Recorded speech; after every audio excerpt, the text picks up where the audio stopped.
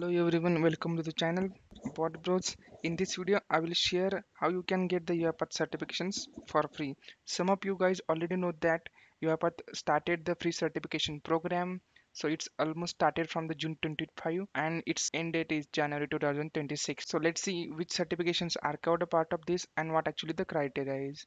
So for each certification, you have the duration is three month and in this three month you need to complete the UiPath Academy learning plan for the certification that you wanted to do and for the track that you have registered. After this, you will get the verification test link. You will need to give the verification test link within the defined timelines. So it might be uh, two weeks.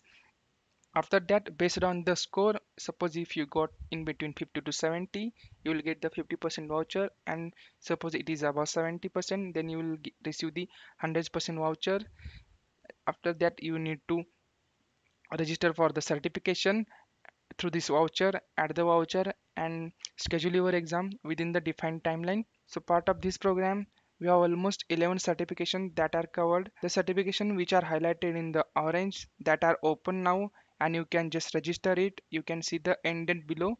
And the certification that are highlighted in the purple that that are to be started but you can join the waitlist you can start the certification once it's uh, started. You can register the certification by opening the certification from here. You can join track from here join waitlist or otherwise your option will be login. So take the advantage as much as you can of the free certification.